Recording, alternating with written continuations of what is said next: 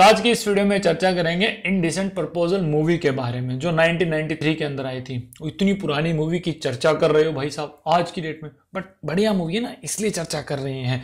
अब आपने एक जो वर्ड ध्यान से सुना है इनडिसेंट आपने सुना होगा डिसेंट डिसेंट से काम करो भैया डिसेंट से रहो। आपको डिसेंट व्यवहार रखना चाहिए, यानी सभ्य व्यवहार रखना चाहिए। अब उस डिसेंट वर्ड के पहले इन लगाया गया यानी इनडिसेंट असभ्य व्यवहार, या फिर कहीं असभ्य प्रपोजल प्रस्ताव दिया जाता है। नाम से समझ जाओ कि मूवी के अंदर क्या होने वाला है। अब जो इस मूवी की स्टोरी है, आपने कहीं ना कहीं बॉलीवुड की मूवीज़ में वो देखी होगी। डेफिनेटली आपने देखी होगी। क्या बॉलीवुड को साइड में डाते हैं। फोकस करते हैं इस मूवी के ऊपर। जो इसमें कहानी आपको देखने को मिलने वाली है, एक कपल है, जिसमें एक डेविड जो एक पति है डायना जो एक वाइफ है, दोनों की शादी को काफ़ी टाइम हो गया अच्छे से वो अपनी लाइफ को जी रहे हैं। डेविड एक आर्किटेक्ट है और डायना जो है, वो एक ब्रोकर है। अच्छे से इनकी लाइफ जी मतलब चल रही है।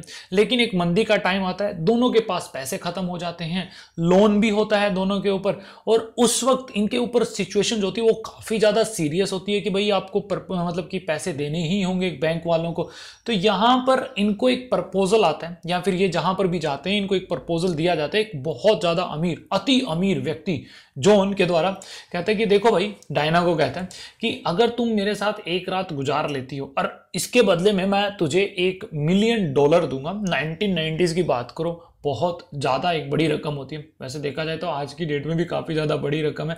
तो डायना को कहता है, देखो, एक मिलियन डॉलर मिलेंगे, एक रात गुजार लो और उसके बदले में आपको कोई क्वेश्चन नहीं पूछने होंगे।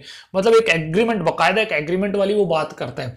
यहाँ पर अब मैं उस वक्त सोच रहा था कि जब मूवी ये सीन ऐसा आता है कि यार, अगर ऐसी बातें हैं, अगर इंडिया की मूवीज़ में हमें देखने को मिलती हैं तो भैया हस्बैंड से सीधा मुँह फोड़ देता है। इसमें ऐसा कुछ होता नहीं है।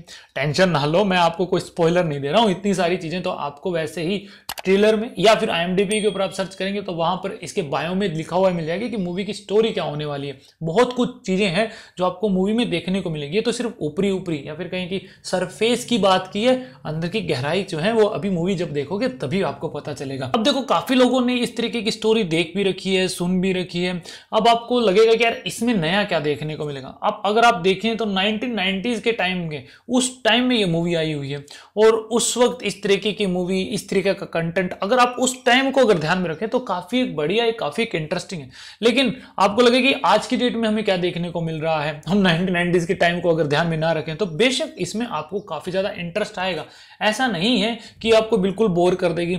सिचुएशन इसके अंदर ऐसी आती हैं जो आपका इंटरेस्ट इसके अंदर क्रिएट कर देती हैं। कुछ ट्विस्ट आते हैं इस मूवी के अंदर, जो मैंने भी नहीं सोचे थे, यार इस तरीके का हो जाएगा, जो चीज़ें होती हैं। सिचुएशन दोनों हस्बैंड वाइफ के सामने कैसे और ज़्यादा सीरियस होती हैं, ये कैसे उस चीज़ को निपटते हैं, ये देखने में आपको काफ़ी ज़्यादा मज़ा आने वाला है। मुझे तो बेशक आया था। अगर मैं नेगेटिव चीज़ों की बात करता हूँ इस मूवी के अंदर तो देखो यार, एक करेक्टर है जो जोन है। मुझे उससे कुछ ज़्यादा ही एक्सपेक्टेशन थी कि हाँ यार, ये व्यक्ति कुछ और हटके करेगा यहाँ पर। लेकिन वो नहीं करता है। वो काफ़ी ज़्यादा निराश कर देता है। या फिर मैंने सोचा था, यार, इस तरीके की एंडिंग आप जो दिखा रहे हो, ये तो ऑटोमेटिक हम ये ऐसे समझ सकते हैं कि यार, ये तो प्रिडिक्टेबल है। हम ऑटोमेटिकली इसको प्रिडिक्ट कर सकते हैं आसानी से कि इसकी एंडिंग में क्या होने वाला है। लेकिन वो जो चीज़ है एंडिंग वाली, उसमें इतना हमें मज़ा नहीं आता है। तो एक नेगेटिव पॉइंट में इसका एंडिंग और जो जोन का करेक्टर है, उसको मैं कह सकता हूँ। बाकी मूवी शुरुआत से लेकर आखिर तक लगभग आपको एक अच्छा खासा इंटरेस्ट बनाए रखेगी। आप बिल्कुल भी बोर फील नहीं करोगे। मूवी के अंदर मैं ये कहूँगा कि न्यूड सीन है। डेफिनेटली बच्चों के लिए तो बिल्कुल भी नहीं है। तो मेरी तरफ़ से इस मूवी को मैं देना चाहूँगा। 6.5 आउट ऑफ़ 10 स्टार अगर आप लोगों ने मूवी देखी है तो प्लीज़ कमेंट करना कि आप लोगों को मूवी कैसी लगी और नहीं देखी तो एक बार तो मैं कह सकता हूँ कि वन टाइम आप इसको कंसिडर कर सकते हैं। तो बस आज के लिए इतना ही रखते हैं इस वीडियो में। Thanks for watching this video मिलते हैं नेक्स्ट वीडियो में। जय हिंद।